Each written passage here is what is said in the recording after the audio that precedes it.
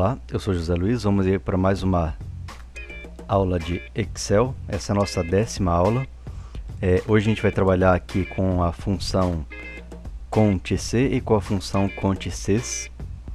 É, apesar de ser apenas duas funções que a gente vai trabalhar hoje, a gente vai aprender muita coisa, tá? Acompanhe a aula aí até o final, tá? Bom, é, primeira coisa aqui que a gente vai trabalhar é com a Conte-C. Eu já deixei aqui algumas coisas cadastradas, eu vou deixar na descrição esse arquivo para quem quiser baixar, tá? Como trabalha aí com a função Conte-C?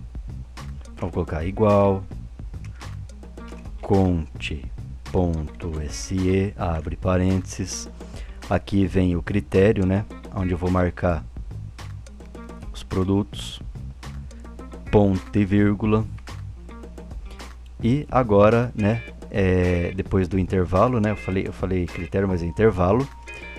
Agora vai vir o critério. Então eu vou abrir aqui aspas duplas e vou colocar o que, que eu estou procurando. Por exemplo, eu quero saber ali na lista quantas camas tem. Então vou colocar cama. Fecha parênteses, fecha aspas, fecha parênteses. Olha lá, ele está me falando que tem duas camas. Ah, agora eu não quero mais cama, eu quero trocar eu quero saber quantos celular tem. Olha lá, três celular. Mas aí, se eu salvar esse arquivo aqui e disponibilizar ele para um, alguém usar aí numa loja ou qualquer tipo de estabelecimento, a pessoa, a hora que ela vir aqui trocar o nome, ela vai acabar apagando a fórmula, vai se confundir, já vai te ligar, já vai dar um monte de problema, né? Então, tem um jeito aí melhor de você fazer isso aqui tá? Que é bem mais simples do que ter que, né? Uh, deixar assim para a pessoa fazer. Bom, a primeira coisa que a gente vai fazer, eu vou renomear aqui a planilha, né? Eu vou chamar ela aqui de pesquisa. Vou criar uma nova planilha aqui do lado, aonde eu vou colocar aqui um cadastro. Vou colocar cadastro produtos. É, lembrando que você pode depois usar esse mesmo cadastro aqui, né, do lado para cadastrar funcionário, fornecedor, né, clientes. Bom, então agora eu tenho que saber quais são os produtos que eu estou usando. Então tem a TV, né, eu dei um Ctrl C e Ctrl V, né, o celular.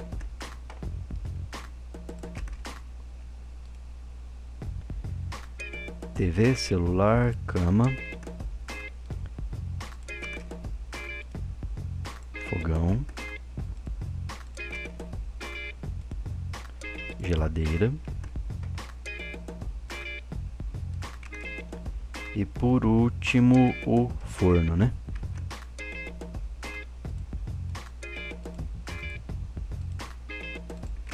Beleza, ó, cadastrei aqui alguns produtos. É, aqui eu vou colocar é, pesquisa. Aqui no lugar desse 3 eu vou colocar. Deixa eu ver como eu vou colocar. Vou colocar assim, ó. Se, selecione o produto abaixo. Agora vamos trocar isso aqui de lugar. Lembrando, né, que quando eu tenho aqui dois objetos mesclados, ó, eu seleciono os dois, venho aqui na, no cantinho, né, qualquer borda dele, clico, seguro e arrasto. Trazer ele para cá. Opa, não funcionou. Agora veio. Ó, seleciona o produto abaixo. É, eu vou tirar agora o pesquisa daqui, ó. Não, vou deixar ele. Deixa ele aqui quietinho por enquanto. Aqui onde eu coloquei eu seleciono o produto abaixo, eu vou fazer o seguinte. Eu vou clicar aqui. Aí nós vamos vir aqui no menu dados. Aí nós vamos ver em validação de dados. É só clicar aqui no desenho, ó. Aqui nós vamos escolher a opção lista. Fonte, eu vou clicar aqui na setinha. Vou vir aqui na planilha 2. Vou selecionar. Olha lá, selecionei aqui todos os produtos. Já posso dar um OK. Vamos ver se está funcionando, ó. Olha lá, que clica, a hora que clica aqui, ó. Olha lá, geladeira, TV, bacana, né? É... Eu vou fazer o seguinte aqui, para ficar mais bacana. Vou arrastar todo mundo aqui para baixo. E aqui eu vou colocar selecione.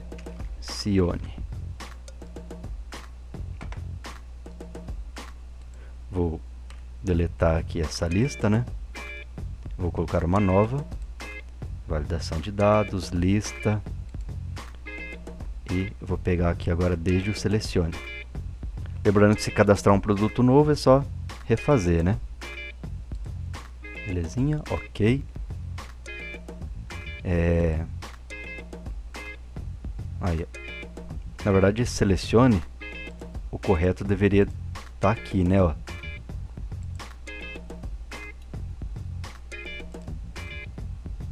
Deveria deixar ele como padrão aqui já. Se eu vim aqui digitar a palavra selecione,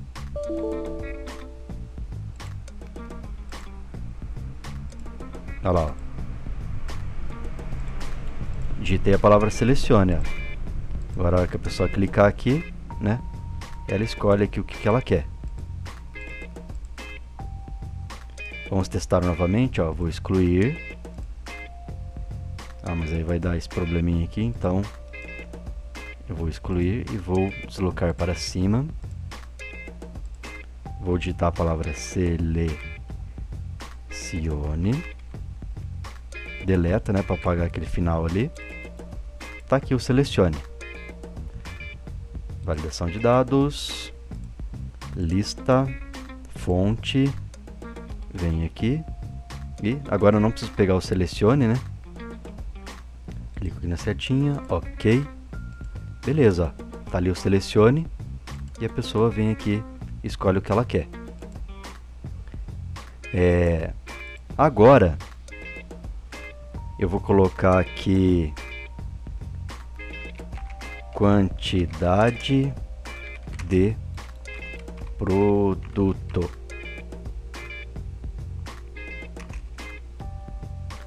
Vou colocar abaixo.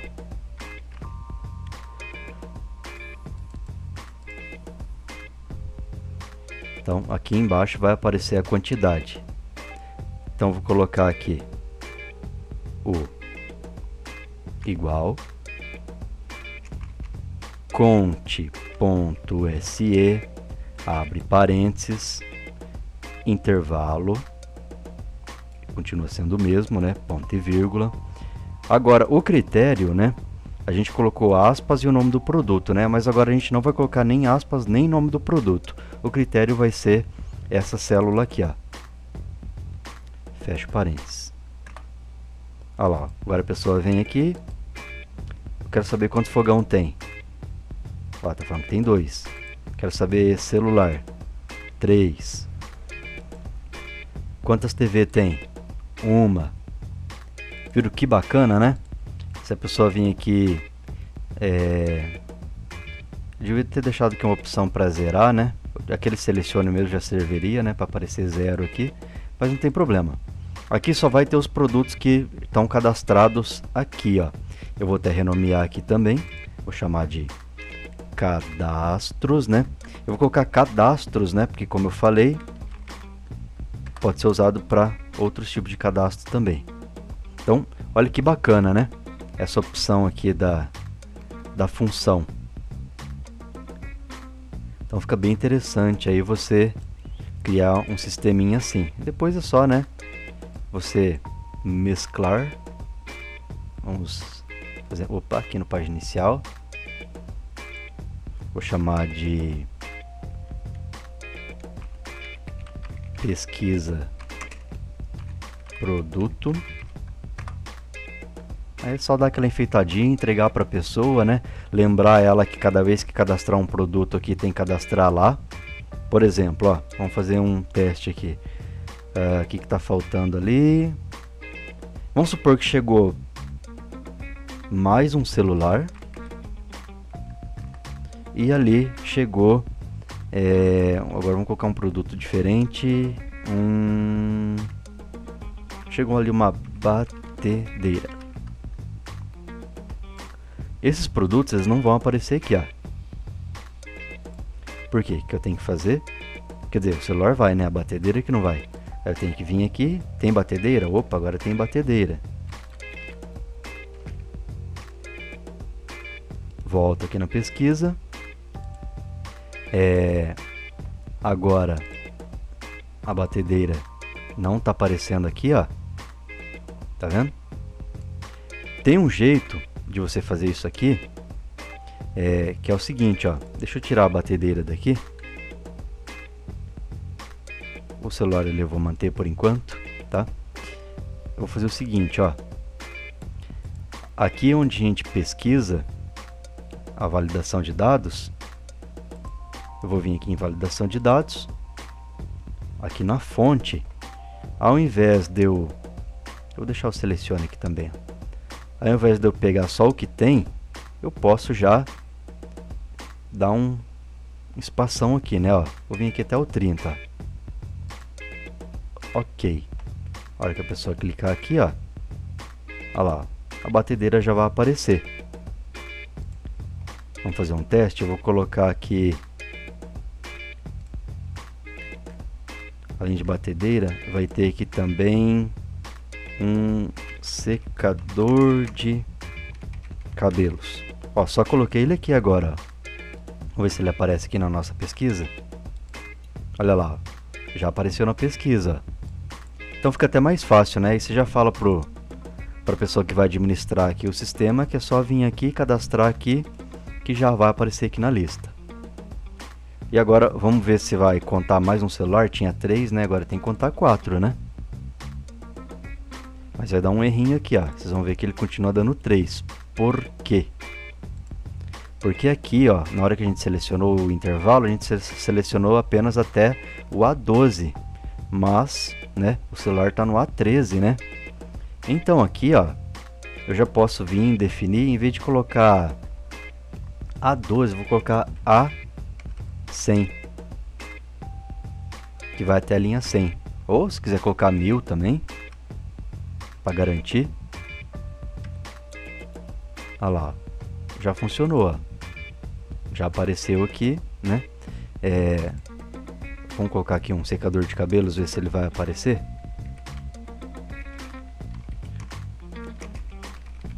Ah, secador de cabelos vamos alterar aqui o tamanho.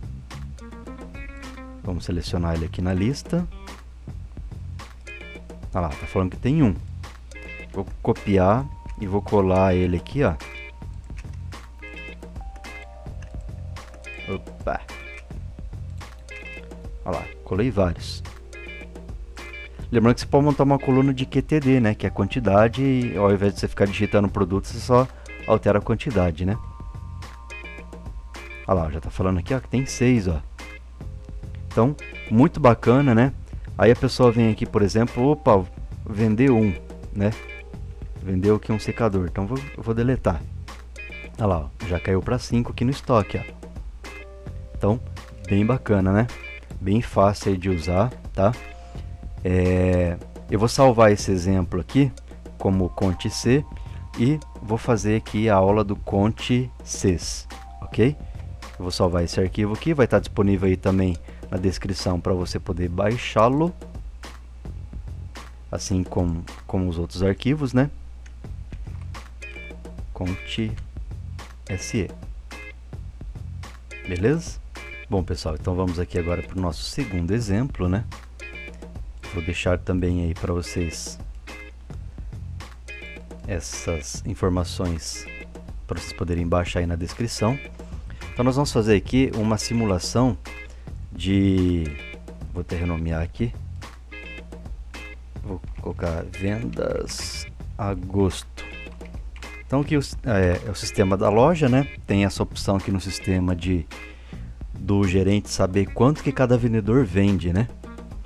Então eu vou definir aqui o campo, vou fazer aqui do lado, ó. Defina vendedor abaixo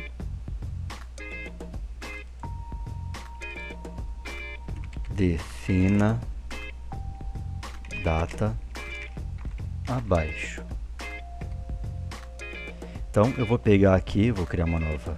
Eu vou, eu vou usar aqui essa que eu já tenho, ó. Eu tenho aqui cadastro produtos. Eu vou chamar aqui agora de cadastro vendedores e cadastro datas. Agora eu vou pegar lá os vendedores, né?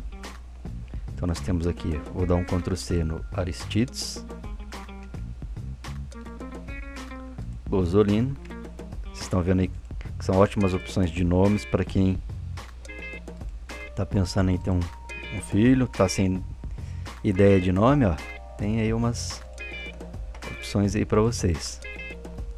Claro que é brincadeira, né, pessoal? Hoje em dia tem que falar que é brincadeira e estamos na época do mimimi, né? Ah, esse já foi, já foi, já foi. Acho que coloquei todos. Bom. Mas eu sou burro, hein? Olha lá. Vou selecionar.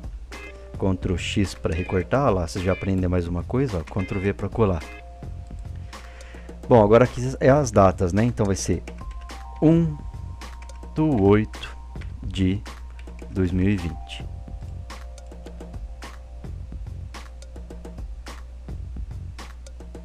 O mês 8 eu vou contar aqui. Eu vou contar, geralmente eu costumo colocar todos até o dia 31, tá? Diz a lenda que do dia 31 nunca passa. Então tá aqui, ó, tá cadastrado os vendedores e as datas de agosto. É, você pode até colocar aqui também datas agosto, né? Depois cadastrar as outras datas ou criar uma planilha só para datas, né? Aí fica a critério de cada um. Defina o vendedor. Então, já sabemos como funciona, né? É, Vamos clicar ali, vamos vir em dados, validação de dados, lista, fonte. Vamos pegar aqui os vendedores. Se for entrar mais vendedor, ó, eu já estou até selecionando aqui um pouquinho mais. Tomara que a loja cresça e entra mais vendedores, né? Então, ok. Podia ter colocado a palavra seleciona ali também, né?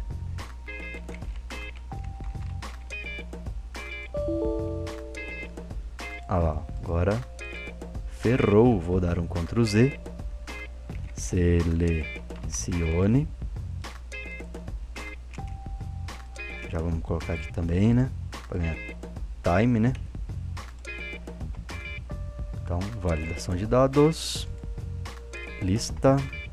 Muito bacana isso aqui, né? É, ajuda muito no nosso dia a dia. O Excel é uma ferramenta fantástica, né, para ou fantástica, como diz o Tiririca. Então é uma ferramenta fantástica aí para no seu dia a dia. Vou selecionar aqui as datas. Belezinha, então o cara vai selecionar aqui o Aristides, por exemplo, e uma data.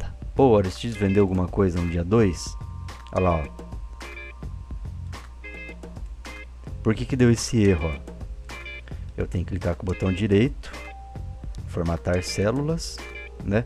E marcar a opção aqui, ó, de data. Olha lá. Então, funcionou. Belezinha, né? Bom, Mas agora aqui eu vou colocar número de vendas abaixo. Como que vai funcionar? Deixa eu... Ó, tô segurando o botão CTRL aqui do teclado para selecionar três coisas de uma vez só, ou mais, né? Isso a gente não tinha visto ainda.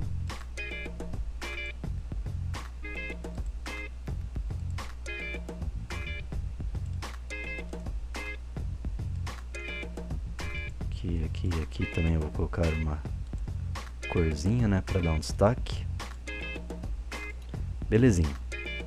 É... Não tá alinhado, né, ó. Esse... Vou colocar aqui na esquerda também. Bom, então, como vai funcionar... Não, peraí. peraí. Bom, então como vai funcionar a fórmula? Eu vou colocar aqui igual conte ponto SES, né? Que é o CES, abre parênteses. Aí vai vir o intervalo. O primeiro intervalo vai ser o, os vendedores, né? É, agora eu vou colocar ponto e vírgula. Aonde que vai estar tá esse vendedor? Vai estar tá aqui, né? Onde o cara escolher. Então vou clicar aqui. Ponto e vírgula. Agora vem o segundo intervalo. Eu quero saber as datas. Poderia ser valores também, saber quanto que cada um vendeu. Mas eu quero saber quantas vendas foram feitas.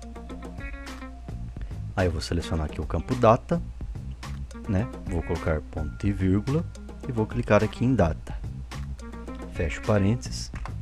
Belezinha. Olha lá, o Aristides no dia 6 ele não vendeu nada. Zero. Eu quero saber quanto que ele vendeu no dia 5. Opa, olha lá, dia 5 ele fez duas vendas, ó. Tem uma aqui e outra aqui, ó. Então, olha que interessante, né? Quero trocar por outro vendedor, quero o Maria Osvaldo. Olha lá, dia 5 ele não vendeu nada. Dia 6, nada. Dia 11 que ele vendeu, olha lá, tem uma venda. Então, para isso aí que serve a função CONTE-CES, né? Você pode selecionar dois campos aí, né, de pesquisa para filtrar melhor aí a pesquisa, né? Então, muito bacana, né, pessoal? Então, de forma prática, deu para a gente entender as duas fórmulas, né? Espero que vocês tenham gostado. É, não esqueça de se inscrever no canal, dar like no vídeo, compartilhar nossos vídeos, nos ajuda muito. Vou deixar esses dois arquivos na descrição para vocês baixarem, ok? E a gente vai ficando por aqui. Valeu!